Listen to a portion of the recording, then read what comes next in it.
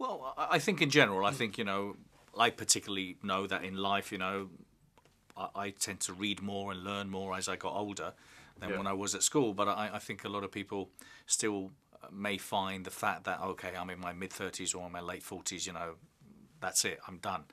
And I just think that part of what we try to do is to is to create content and awareness uh, and share Yeah. expertise. Because life is a continual journey of education and, and continual learning and development. Absolutely, and I think that you know the best. Uh, well, my view on education is is that you know it is an ongoing process, and I think that sometimes people can be turned off by the word education, and it reminds them of school or it reminds them of university. But the reality is, it's, it's a lifelong learning, and wherever you get that education, be it from you know from from reading a book, from reading the FT, be it from you know visiting your website every week, wherever somebody gets that education, as long as it suits them and as long as that's what speaks to them, then that's that's all that matters. There's no point going sitting in a library trying to study books if that's not your thing, because it's just you're going to end up hating doing it.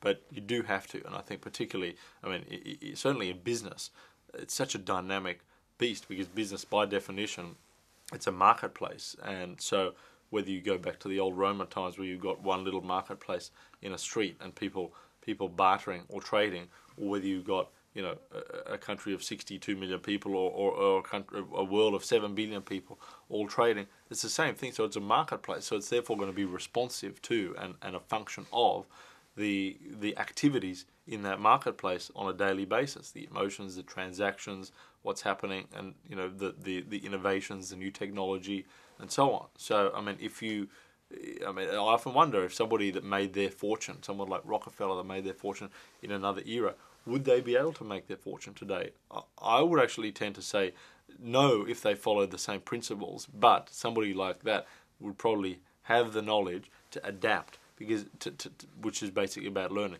You see people that you know have have had illnesses coming back and starting new businesses. People who've had corporate failures. People who've been to jail, paid their dues, reinvented themselves.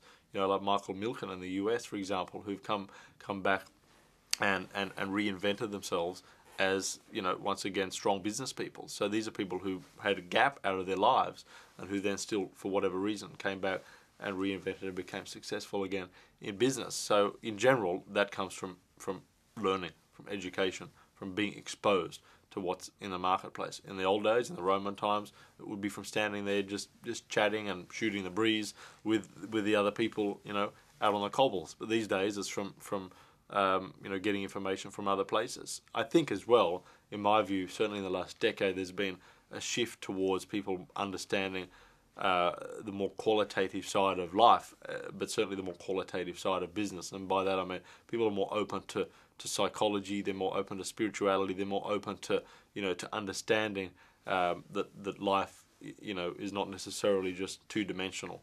And I think so they're understanding that there's other ways that they can get information and improve themselves and improve their own psychology and improve their own well-being uh, through through learning.